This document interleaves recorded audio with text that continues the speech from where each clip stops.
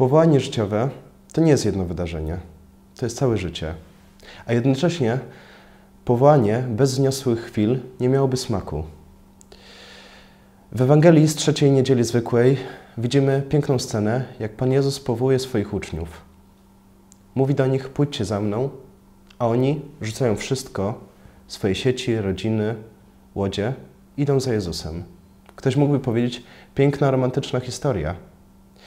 Gdy jednak czytamy Ewangelię w kontekście, to widzimy, że tych momentów powołaniowych było dużo, dużo więcej.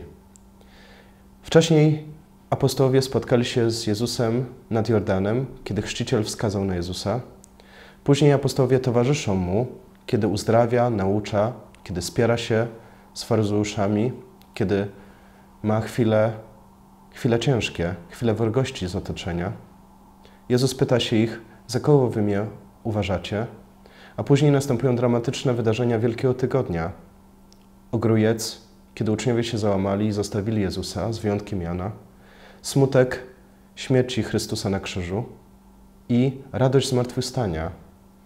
Później w niebo wstąpienie, rozesłanie na cały świat, zesłanie Ducha Świętego i każdy z tych młodych apostołów, bogatszych o to doświadczenie, musi iść sam w świat. Dlaczego zatem ewangelista Marek zapisał to właśnie powołanie, ten moment powołaniowy? Ponieważ był to moment pierwszego zachwytu, podjęcia wyboru. Coś jak wyznanie miłosne między dwojgiem zakochanych. I sądzę, że apostołowie wracali do tego momentu, kiedy było im ciężko, kiedy byli smutni, samotni, prześladowani. Dawało im to taką wewnętrzną siłę. Każdy z nas ma swoje powołanie, bez względu na to, czy to jest kapłaństwo, życie zakonne, małżeńskie, świecki zawód, czy też powołanie do samotności i cierpienia.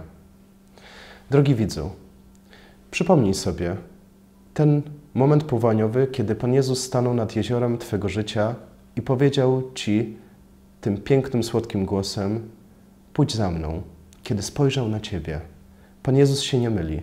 Wybrał Ciebie nie dlatego, że jesteś lepszy od innych, tylko dlatego, że jesteś Jego, Jego ukochanym synem, Jego ukochaną córką. Przypomnij sobie, Pan Jezus się nie myli. Dasz radę.